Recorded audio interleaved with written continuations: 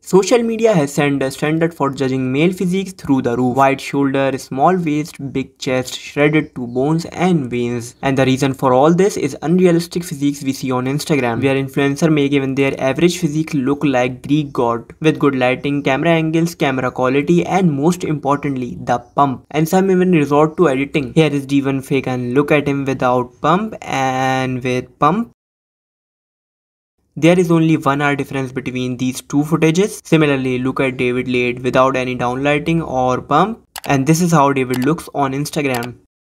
And Alex Eubank has edited his picture multiple times to make himself look more muscular. Alex, Alex, Alex, you've been caught red-handed.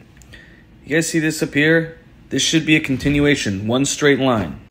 Now we'll pull back and, and you can see it a little better. It looks like that because he pulled his lats out. Now on the other side, it's a little funky over here too, but do we really need to go there? More quick one. Look at the railing. Got him! From all these things, you should understand that social media has nothing to do with reality. So don't feel inferior by comparing yourself to these influencers. Focus on your progress, compare yourself with your past version and don't skip cardio which is the best source of looking aesthetic. See you in the next video. Until then, keep training hard, keep working hard.